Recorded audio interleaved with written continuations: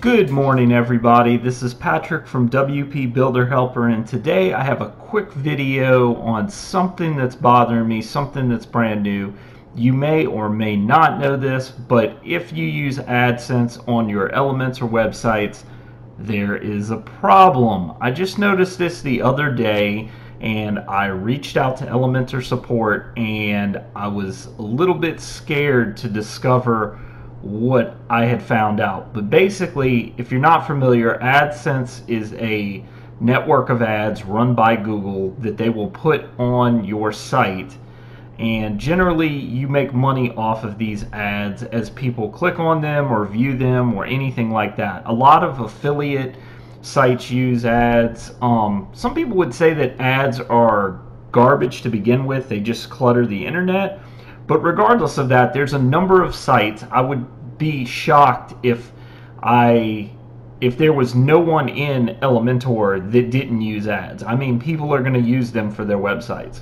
Well, guess what? Elementor's got a little problem. So, in this text from support, they say, "Hi Patrick, we've seen some reports of this happening piece people for people who are using AdSense on these sites. The AdSense code is recently changed which adds height auto important to the iframe of the Elementor preview uh, iframe, which is the editor of the Elementor's iframe. So from now on, you need to use an AdBlock extension to get into the editor. So AdBlock is hardly anything that would be very hard to do. I mean, AdBlocks you can get for free, so there's no big deal. But if you go into your Elementor window and you don't have AdBlock installed, this is what it looks like you only get a portion of your window. You don't even get the full window because of the ads. Now, I think that this brings two giant problems to Elementor. Number one, Google is like huge, and I don't foresee them changing their code for Elementor. That's just not going to happen.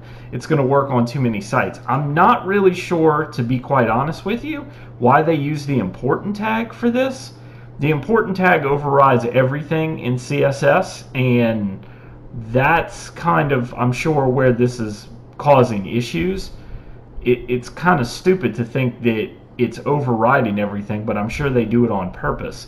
Um, this does only work for ads that are, as they said in here, that have no sizes. So basically, these are the dynamic ads that you see on the side uh, AdSense gives you the ability to go in and actually put in dynamic ads, which will which will scale to mobile or responsive or anything like that.